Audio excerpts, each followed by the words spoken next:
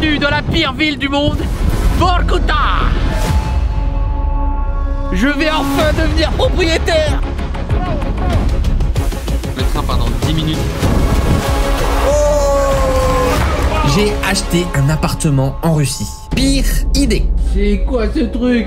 Je vais tout vous expliquer et vous allez voir qu'il s'est passé quand même quelque chose de vraiment particulier. Vous le savez sans doute, mais l'année dernière, je suis parti en Russie pour tourner plusieurs vidéos et c'est à ce moment-là que euh, l'invasion en Ukraine a commencé. J'ai commencé donc avec des concepts un peu de youtubeur et au final, je me suis retrouvé débordé par les événements et tout ça a mené à quelque chose de plutôt spécial, on va dire. La phrase de youtubeur, mais là, là oui. Il est important quand même de le préciser, mais la guerre en Ukraine a des conséquences dévastatrices sur les civils dans la région. Des milliers de personnes ont été tuées ou blessées, des millions ont été déplacés de chez elles et des communautés entières ont été dévastées. Donc avant de commencer quoi que ce soit, il était important pour moi de montrer mon soutien. Et il est important de se mobiliser pour trouver une solution pacifique à ce conflit. Est arrivé là. Je trouvais ça intéressant de vous partager ce que j'ai vécu de l'intérieur. Vous le savez, j'ai dû fuir le pays, mais je trouve ça quand même intéressant de vous partager ces vidéos qui à la base sont fun et qui ont donc débordé vers autre chose. Et du coup, j'ai pu réaliser pas mal de choses sur place et du concept fun, et ben on va passer à peut-être une véritable prise de parole et à des sujets euh, beaucoup plus importants. C'est une ville fantôme, mec, y'a personne. Tu vas voir, on va trouver du monde et on va faire pas mal de trucs. Jusqu'à présent, je savais pas du tout comment aborder ces vidéos, donc je les avais pas sorties, je les avais pas travaillées. Mais avec le temps, avec la poche, j'ai pu me poser. On va prendre aussi un petit peu plus de temps pour raconter des histoires et surtout aborder des thèmes beaucoup plus adultes, beaucoup plus précis. Vous allez voir que sur place, on a rencontré plein de gens. On a fini dans un mariage, on a pu découvrir les traditions un petit peu euh, des Russes dans ce coin-là.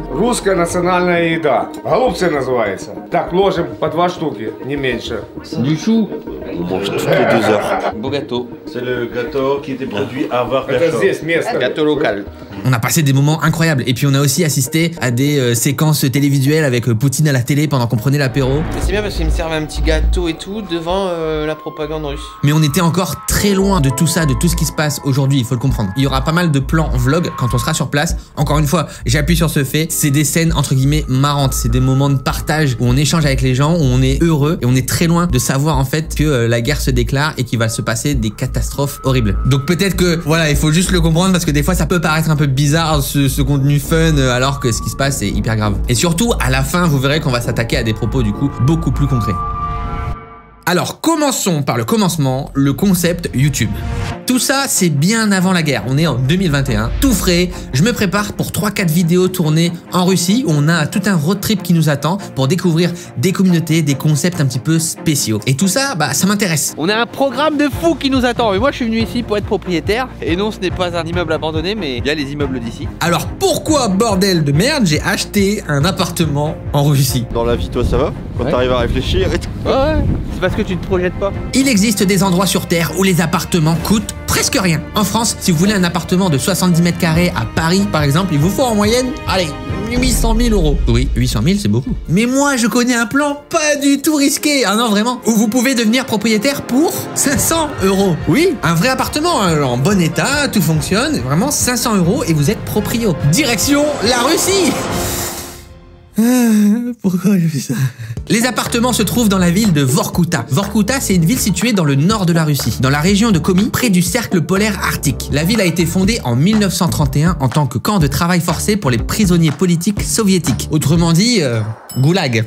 On s'enfonce. Aujourd'hui, Vorkuta c'est devenu une ville industrielle importante avec une économie basée sur l'extraction de charbon, du gaz naturel ou d'autres ressources minérales. C'est une ville qui travaille. Et la ville a quand même une population de 70 000 habitants, ce qui en fait une des plus grandes villes du nord de la Russie. Mais alors pourquoi les appartements là-bas valent 500 euros? Déjà, je dois avouer que c'est une vidéo de Gouv HD, je sais pas si vous connaissez, mais qui en a parlé. Il parle beaucoup des anecdotes, un petit peu de la culture russe, en tout cas avant la guerre. Et dans une de ces vidéos, il présentait la ville de Vorkuta et des appartements pas chers. Et moi, je me suis dit, ok, alors là, on y va. Vorkuta, c'est une ville qui est méga éloignée, dans une région qui est reculée et très très froide. L'accessibilité est limitée. Vous l'avez peut-être vu dans ma vidéo dans le train. Et les conditions climatiques sont très difficiles. Du coup, c'est vraiment une ville particulière. Il y a une ambiance, il y a une aura qui est assez bizarre que nous, en tout cas, on connaît pas ici en France. Je me suis dit que c'était super intéressant d'y aller découvrir tout ça. Bref, quand tu vois la ville, autant te dire que la demande immobilière, elle est pas très forte. hein. Oh, j'en connais pas beaucoup qui veulent vivre à Vorkuta, moi. Par moi. On s'y retrouve plutôt isolé avec des infrastructures limitées qui peuvent affecter la qualité de vie. Enfin, c'est comme ça qu'on me l'a vendu. Une ville fantôme d'un ancien temps.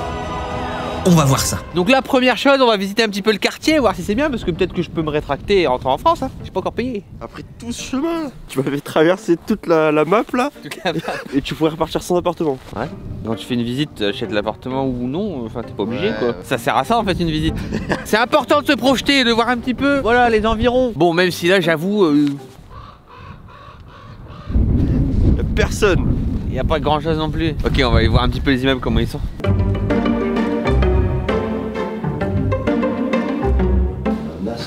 Qui est fonctionnel. Ah ça c'est super Pour les courses. Non, j'aime beaucoup ce quartier. La neige, la neige, puis la neige aussi là-bas.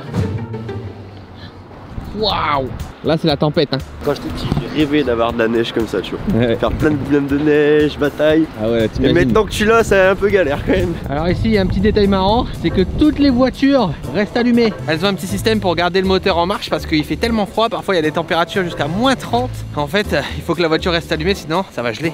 C'est l'huile du moteur qui gèle. Ah ouais. C'est ça le plus important, donc il faut que ça soit encore liquide. On a l'impression qu'il soulève du sable, c'est de la neige gros.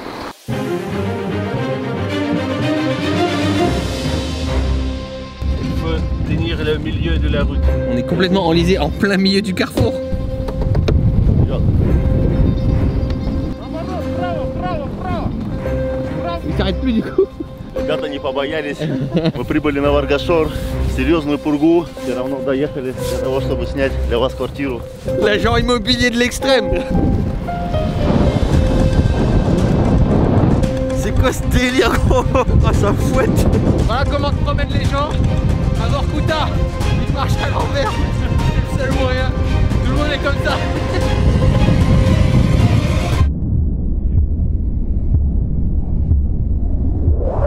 D'acheter l'appartement, parce que là on est arrivé en ville, on a tout découvert, et finalement on se rend compte qu'il y a mille et une choses quand même intéressantes. On a rencontré pas mal de gens dans la rue, on s'est fait des potes, et il s'est passé des dingueries. Mais vraiment, c'est après ça que ça va devenir un petit peu bizarre. En attendant, là, tout de suite, on se retrouve en plein milieu d'un mariage dans la ville. On a été les invités d'honneur, je sais pas ce qui s'est passé, et c'est que le début.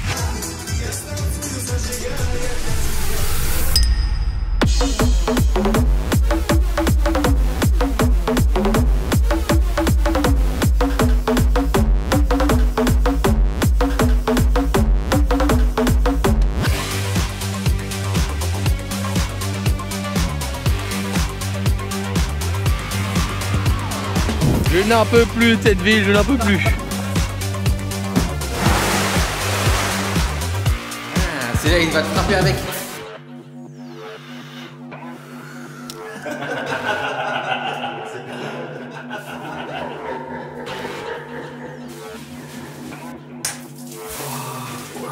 You ready? Yeah.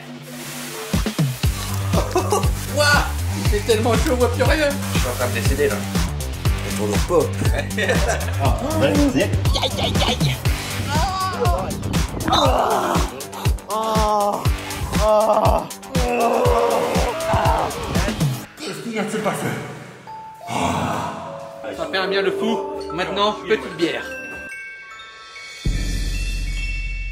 On est actuellement en apéro et il y a un concert acoustique et il va y avoir un combat de boxe.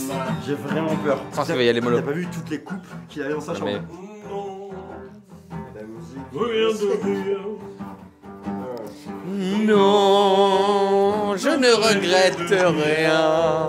Let's go Eh, C'est parti, attention, hein, le coup qui est donné hein, du côté russe. Le côté français qui est un petit peu fébrile. hein. Il attaque, il attaque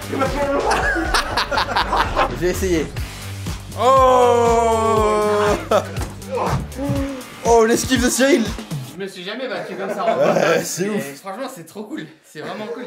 Après, il est très gentil. Ouais ouais, tu le sens. You are very nice because Ouais, I tu think le you sens, could- tu le sens. ouais, ouais.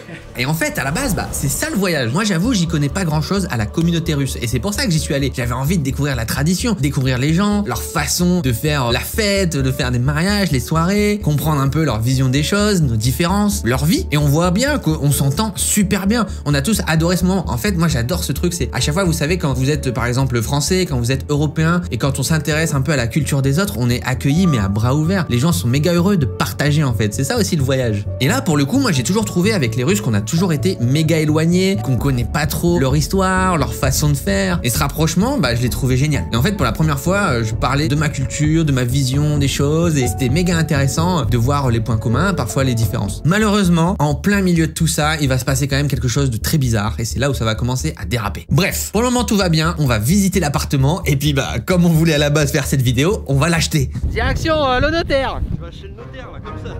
C'est quoi le chemin pour aller chez le notaire C'est comme ça les rendez-vous professionnels. Bienvenue ah. à Vorkuta. Le nombre de centimètres de neige qui tombe. Parce qu'il parle du bain russe, Putain, vous allez dans un sauna et après vous sautez dans la neige. Oh oh il y a le trou Qu'est-ce qu'il fait? Je me suis enfoncé de malade gros D'où c'est qui m'amène Ah ça se mérite hein, d'être propriétaire ici Pourquoi tu prends pas un appartement aux Bahamas gros Trop cher J'avais que 500 euros de budget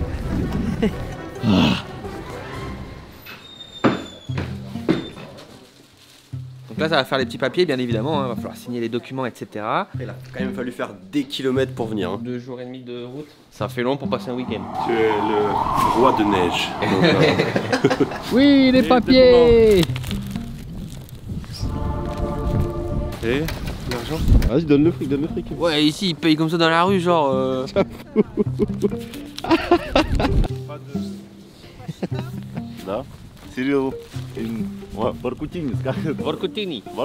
Je suis officiellement propriétaire euh, Voir Coutine. Vorkutiniet. Putain, tu vas d'arriver, il se fout de ta gueule. Les expériences étranges, acheter un appartement en cash dans une rue par moins 10, moins 15 degrés dans un blizzard, dans une langue que je ne comprends pas. Oh les aventures. Ah c'est ma maison J'arrive même pas à rentrer Waouh Plains-toi au syndicat. C'est quoi ce truc?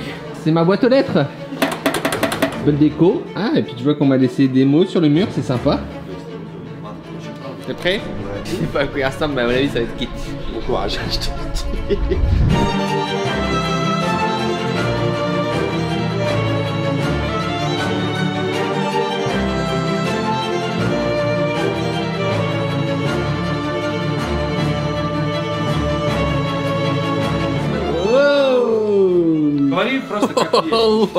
Alors on a l'agent immobilier qui va nous faire euh, la petite visite. Petit agent immobilier perso. C'est magnifique. C'est hallucinant, mec. C'est quoi ce bordel? Le gros setup gaming. Je sais pas si ça doit faire peur, mourir les enfants. Et la terrasse Waouh Ah ouais, on a une belle petite terrasse quand même, ça c'est super important pour les Parisiens qu'on est. C'est super pour faire un petit barbecue. Tu veux la fraîcheur, mec. C'est une pièce qui va être inconnue, tu vas jamais y aller. C'est pour congeler ton poisson. tu le mets dehors. En vrai, je m'attendais à un truc quand même genre hyper euh, vieux, dégueulasse, pas en état, mais c'est nickel. hein. Pas de moisissure, pas de traces euh, d'humidité, enfin c'est vraiment c'est nickel. hein. Pas une poussière, on sent que les gens prennent soin quand même de leur petite maisonnée. Mec, 500 euros. Suis proprio. Mon premier achat IMO. ok, donc là on est donc dans la chambre. Ah Après ce long périple, il passe même pas dans le lit. oh mec, t'as fait trop froid. Ah, on a une vue sur le square, génial. Alors, le square ici, super important. C'est vraiment le cœur de la coproprio. Tout le monde se retrouve là l'été, hein, c'est génial. Il va esquinter mes chiottes. eh. Tu laisses allumer. Oui. Je le fais au son là. Elle va pas pisser à côté. Si t'as sali mes toilettes, tu laves, hein. La voisine vous invitait à regarder son appartement. Ah bon? Va aller chez les voisins. ouais On cherche des acheteurs. Allez, venez, on achète tous à Vorkuta. Et on se fait des vacances à chaque fois, tout le monde vient au même moment. Eh, y a ma voisine qui m'invite à faire un tour. là. Je sais pas, elle m'embarque, elle m'a dit viens voir mon appart. Qu'est-ce qu'elle me prépare? J'en sais rien. Tu veux que je mette ça de quoi Non, non, non, non. Petit chat oh. Wow. Ah, sa fille, sa petite fille. Très jolie. Ah, c'est vraiment les mêmes appartements. Là, la petite chambre. Oh Dis donc, mémé Eh oh C'est quoi ça? C'est quoi cette histoire? Petit PC. Bah, celle qui joue à Counter-Strike. On m'a dit, elle était globale. Tu penses qu'elle te félicité pour que tu l'achètes aussi? J'en ai aucune idée. Je te le Elle te fait un prix. Je vais lui montrer ma chaîne. Alors, ça craque Après, je me dis, Voilà. après, je me dis, la neige, elle en vaut quand même pas mal, tu vois. Oui, c'est vrai, j'aurais peut-être dû mettre autre chose pour l'impressionner, je pense. Pour moi c'est impressionnant, mais j'aurais dû mettre l'Amazonie ou quoi. Elle nous propose un thé. Chai. On est bien accueillis. Elle a un lit simple, c'est-à-dire qu'elle vit toute seule, la pauvre. Ah, T'imagines bah, avoir ouais. Kuta Bon écoutez, euh, prise d'otage, hein, ça prend le petit thé chez la voisine. Avec euh, des super crêpes à la viande avec de la mayo et de la confiture. Yeah, t'as bien aimé. Ouais, en vrai, c'est super bon. Alors, moi, j'ai compris, les Français, ils aiment bien la mayo. J'ai compris les Français qui aiment mayo. La pauvre, elle veut pas qu'on parte, elle veut qu'on reste. Elle voulait un peu de compagnie. Ah, j'aime pas cette situation. Dis au revoir. J'aime pas. Oh, elle est pas là, ça me fait mal au cœur. Ah, t'es une sacrée voisine, mon gars. Tu sais où aller pour te faire à manger à chaque fois. Il y a quoi à manger ici? Chim chim euh, euh, J'en peux plus. Dis félicitations. Travail. Eh? Wow! Et c'est à ce moment-là que le bad arrive. Alors qu'on est au top, repas de fou, expérience de fou, je me dis c'est bon, tout est ok, on va boucler la vidéo et on avait d'autres concepts encore qui nous attendaient. On s'était fait du coup, nos potes, ils étaient tout le temps avec nous pendant le tournage, etc. C'était vraiment cool. Ils nous faisaient découvrir un petit peu tous les lieux, les gens, les coins à découvrir. Et c'est à ce moment-là, en plein milieu du repas, que je vois Poutine à la télévision. Message du gouvernement russe au bah là, je, reviens à la réalité. En fait, on était tellement loin de tout ça, on n'avait pas trop suivi, mais moi, sincèrement, j'y croyais pas. Parce qu'il commençait à avoir des trucs un peu sur Twitter, euh, un peu aux informations, etc. De notre côté, euh, en France, moi, j'y croyais pas du tout. Genre, c'est impossible. En plus, j'étais tellement loin sur le cercle polaire arctique avec des Russes, on s'entendait super bien. Il y avait ces on en parlait, enfin, il y avait aucun souci. Donc là, je demande quand même la traduction de ce que raconte Poutine à la télé. Et là, c'est vraiment le bad, en fait, parce qu'on est pris dans deux games vraiment différents. Parce que moi, de mon côté, j'ai les informations du gouvernement français, de l'ONU, etc. Et là, vraiment, j'ai la vision un petit peu russe et euh, Poutine qui fait euh, son message sur euh, ce qu'il va appeler les opérations militaires, que tout se passe bien, etc. Alors, comment ça peut bien se passer quand on envahit un pays? Enfin bref. Et puis, bah eux, pour eux, bah c'est aussi leur président qui parle à la télé, donc comme nous, c'est un peu normal. Enfin, trop bizarre. Et puis là, vraiment, c'est l'escalade. Là, on parle vraiment de guerre. Les opérations commencent à être vraiment vénères. On voit des images de guerre, on voit des images de conflit. On a un message du gouvernement français qui nous dit de rentrer, de partir, de pas rester en Russie. Alors là, j'ai la famille qui panique. C'est la panique à bord. Vous aussi, tous les abonnés m'envoyaient des messages en mode faut rentrer, faut rentrer, etc. Mais qu'est-ce qui se passe Moi, je voulais juste faire mon concept YouTube à la base. Donc là, je peux pas jouer avec ça. Moi, je me sens vraiment en sécurité. Je me sens loin de tout ça, entre guillemets. Mais euh, voilà, j'abandonne tous les projets. J'arrête le concept, etc. On va rentrer en France. Bon bah là, c'est parti pour aller faire le test PCR. Je sais pas quand est-ce qu'il va servir, comment, mais bon, on va faire un test PCR. on, euh, ça sert toujours. Привет. Euh, hop là. On a réussi à choper un test PCR.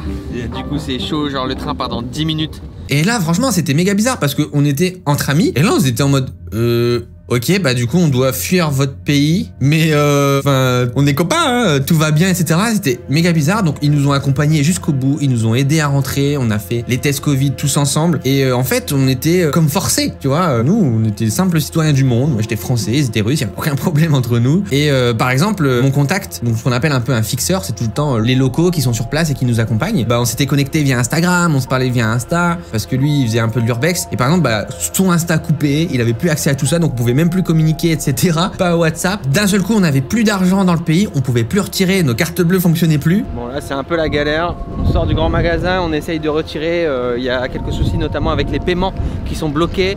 Donc on essaye de trouver du cash. Mais disons que bah c'est pas l'endroit le plus facile pour trouver du cash quoi. Je te jure.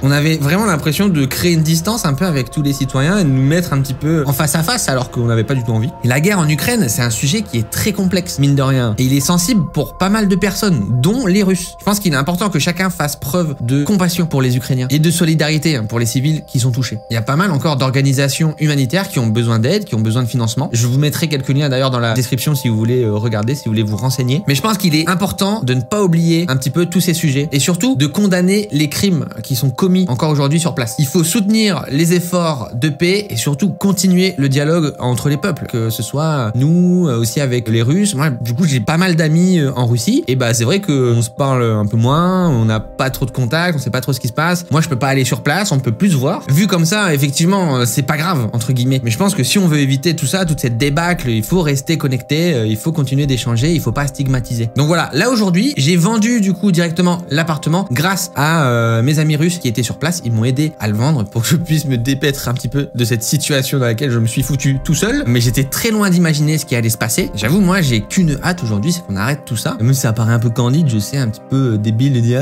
il faut pas faire la guerre. Mais ce qui est important pour moi, c'est de comprendre qu'il y a les gouvernements, il y a les citoyens, et voilà, il faut pas tout mélanger, il faut pas qu'on se monte la tête non plus. Et c'est vrai que moi, bah, comme j'étais sur place, comme j'ai vécu tout ça de l'intérieur, comme j'étais avec des gens russes, bah, on se rend bien compte en fait qu'on contrôle rien, quoi, et que bah, c'est pas trop euh, de notre fée. Je sais pas ce que vous en pensez, vous m'en direz un petit peu plus dans les commentaires. Je suis vraiment curieux d'avoir votre avis un petit peu sur tout ça. Mais voilà, je trouvais ça méga intéressant juste de vous partager un petit peu mon point de vue et euh, ce que j'ai vécu là-bas.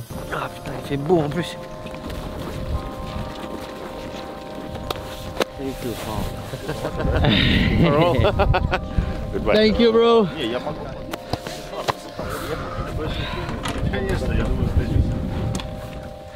Donc ça s'arrête un petit peu de façon brutale, que ce soit là dans la vidéo ou alors même euh, dans le vlog. En fait, tout s'est arrêté d'un coup. Je veux pas tergiverser euh, 4000 ans, commencer à partir dans la politique, dans les choix des gouvernants. Moi, je me cantonne à ce que j'ai vécu sur place. Et c'est vrai que tout s'est arrêté d'un coup. Je peux vous dire que personne sur place n'en avait envie. Bref, j'ai acheté un appartement en Russie.